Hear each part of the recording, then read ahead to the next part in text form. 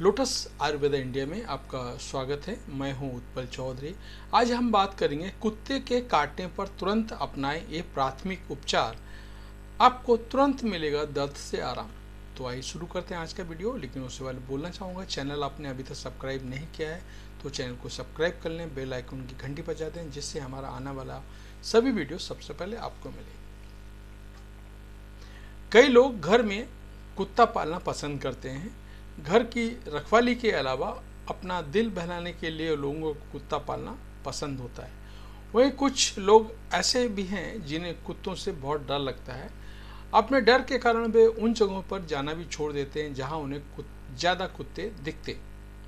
ऐसे में सोचिए अगर आप पर कोई आवारा कुत्ता हमला कर दे तो आप कैसे बचाव करेंगे? कई लोग मानते हैं कि कुत्ते के काटने पर चौदह इंजेक्शन लगते हैं लेकिन यह सिर्फ़ मिथक है। क्योंकि कुत्ते के काटने पर आपको केवल दो से तीन इंजेक्शन लेने की ज़रूरत होती है, जिससे संक्रमण को फैलने में, फैलने से रोका जा सके। वहीं डॉक्टर के पास जाने से पहले कुछ प्राथमिक इलाज करने की ज़रूरत भी पड़ सकती है। पहले समझिए, समय पर प्राथमिक इलाज करना क्यों ज़रूरी है? कुत्ते के काटने से कई परेशानियों का सामना करना पड़ता है। उन परेशानियों में इन्फेक्शन होना रबीज का खतरा, आंतरिक चोट आना और गहरे घाव होना शामिल है। दरअसल कुत्ते के मुँह में बैक्टीरिया होते हैं जो हमारे ब्लड के ज़रिए शरीर में प्रवेश कर जाते हैं और बीमारियाँ फैलाते हैं। खास तौर पे ये समस्या तब होती है जब स्किन छिल जाए या खून बहने लगे। कुत्ते के काटने पर प्राथमिक इलाज कैसे करें? कोशिश करें कि आप जल्द से जल्द डॉक्टर के पास जाकर इंजेक्शन लगवाएँ। इससे आप इन्फेक्शन फैलने से रोक सकते हैं।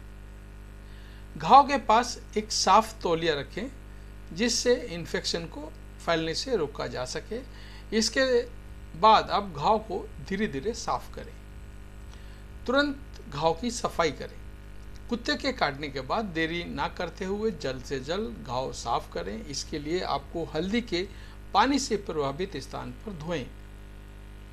हल्दी में एंटी फंगल और एंटी बैक्टीरियल गुण होते हैं। इससे संक्रमण को फैलने से रोका जा सकता है। घाव को खुला ना छोड़ें और इन्हीं, इनकी मरहम पट्टी ज़रूर करें। इससे खून ज़्यादा बहने से रोका जा सकता है। मरहम पट्टी के लिए घाव पर एंटीबायोटिक क्रीम का इस्तेमाल कर सकते हैं। एंटीबायोटिक लगाने के बाद घर को, घाव को खाली ना छोड़ें।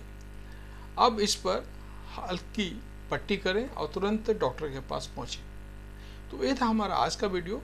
अगर आपको कुत्ता काटता है तो आपको प्राथमिक उपचार आप खुद आप कर सकते हैं, उसके बाद डॉक्टर के पास जा कर के इंजेक्शन ले सकते हैं। अगर आपको वीडियो पसंद आया तो वीडियो लाइक करना मत भूलिएगा। धन्यवाद।